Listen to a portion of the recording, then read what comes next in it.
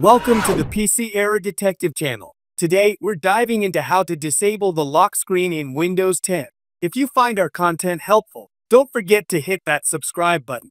To start, press the Windows key plus R. This will open the Run command box.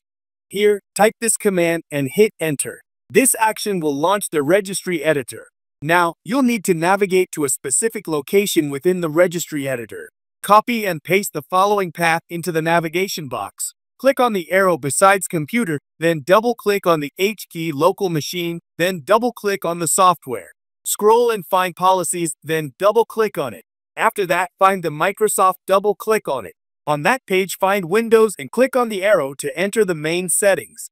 Once there, select Windows, then right-click on it, select New, then Key, and name this new key Personalization. Next, right-click on the personalization key you just created. Choose New and then DWORD 32-bit value.